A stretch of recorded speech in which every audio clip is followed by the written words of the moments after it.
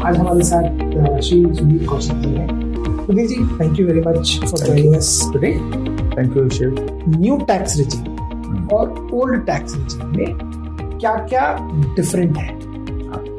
तो सबसे जो एसेंशियल पार्ट है वो ये समझ लो कि आपकी जो टैक्स का जो पूरा ढांचा है वो आपकी इनकम एक्सपेंसेस और इन्वेस्टमेंट तीन चीज़ों पे खड़ा हुआ है। करेक्ट कि मेरी इनकम किस सोर्स से है तो मेरी इनकम ऐसी भी हो सकती है जहाँ पे कोई टैक्स नहीं लग रहा। इनकम भी ऐसी होती। है तो जैसे मैं अगर अपने एम्प्लॉयर से एनपीएस ले रहा हूँ तो वो नॉन टैक्सेबल है। तो वो है तो इनकम पीएफ में जो मेरी डिडक्शन होती है दे तो एम्प्लॉयर रहा है। सिमिलरली मेरे को एच मिल रहा है लेकिन एग्जामेशन मिल जाएगी। तो सैलरी है मगर एग्जामेशन मिल रही है। ऐसे ही मेरे पास ग्रेचुटी मिलती है।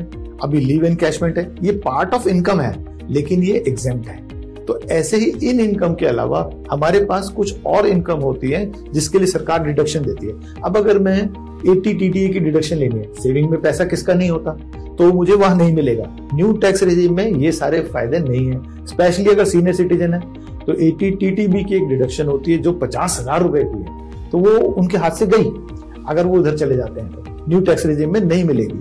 इसके अलावा आपके पास जो परक्विजिट्स में अगर मैं किसी सीनियर पोजीशन पे हूँ, मुझे ई सॉफ्ट मिलते हैं, मुझे कार लीज है या ड्राइवर सैलरी है, या कई बार हमारी कंपनी जो है अपने सीनियर पर्सन का इंश्योरेंस भी पे करती है। These things are come under perquisites या बुक्स एंड पीरियडिकल्स हैं सिमिलरली लैपटॉप एक्सपेंसेस हैं। ऑल दीज एक्सपेंसेस इतना कुछ होता है कि आप 15 से 20 लाख मिनिमम टैक्स फ्री में ले जा सकते हो। इसलिए सरकार अपनी आमदनी बढ़ाने के लिए आप लोगों को थोड़ा सा हाँ उसमें मेहनत लगती है और कंपनी पॉलिसी भी डिपेंड करता है।